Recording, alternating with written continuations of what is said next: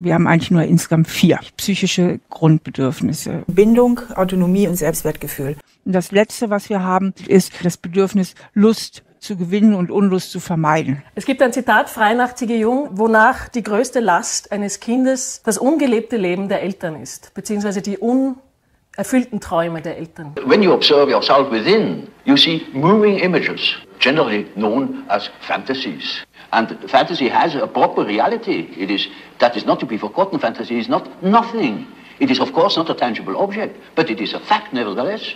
It is, see, a form of energy, despite the fact we can't measure it. It is a manifestation of something. The dream is a manifestation of the unconscious side. We succeed in analyzing the dream. We might get an idea about that power that makes him think like that. A great deal of education goes through storytelling. The world hangs on a thin thread. And that is the psyche of man. Nowadays, we are not threatened by elementary catastrophes. There's no such thing as an H-bomb. That is all man's doing. Yes. We are the great danger. The psyche is the great danger. What if something goes wrong with the psyche? See?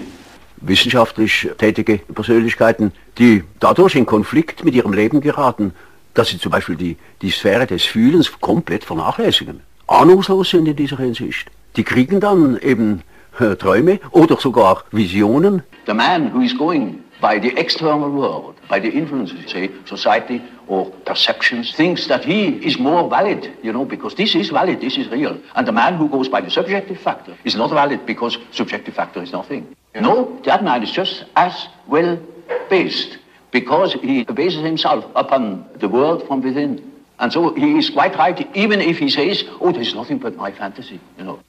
And of course, that is the introvert. And that the introvert is always afraid of, of the external world with people that are in public life, that they have a certain way of uh, presenting themselves. The performance of the persona is quite all right as long as you know that you are not identical with the way in which you appear. At home, for instance, you are quite different from what you appear to be in public. Nee, aber wir brauchen allgemeinere Vorstellungen, damit unser Leben sinnvoll wird. Wenn jemand das Gefühl hat und er von etwas wirklich überwältigt ist, dann wird er das begreifen. And when a man discovers it, in our days, he thinks he's crazy.